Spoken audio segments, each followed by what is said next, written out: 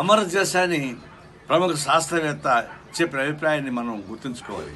ఇప్పుడే తొందరపడి ఈ కోవిడ్ తయారు చేసేటువంటి వ్యాక్సిన్ పలాని టైంలో వచ్చేస్తుందని చెప్పేసి అని కాల నిర్ణయం చేయబాకని చెప్పేసి అని చెప్తా ఉన్నారు కరెక్టే.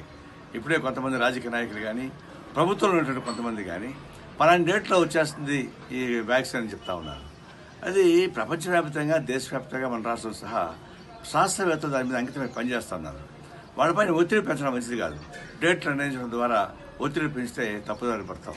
అందువల్ల శాస్త్రవేత్తలను శాస్త్రాన్ని ఫ్రీగా వదిలిపెట్టాలి తప్ప వాళ్ళపైన అభినందన తెలియజేయడం కానీ లేకపోతే ఆన్సర్ విధించడం కానీ డేట్ కొంచెం ప్రకటించడం కానీ నష్టం వస్తుంది. దయచేసి అందరూ గుర్తుంచుకోండి శాస్త్రవేత్తలను ఫ్రీగా వదిలిపెట్టండి. ఇలాంటి తొందరపడి అత్యుత్సాహం ప్రదర్శించవాలని చెప్పేసి నేను విజ్ఞప్తి చేస్తా ఉన్నాను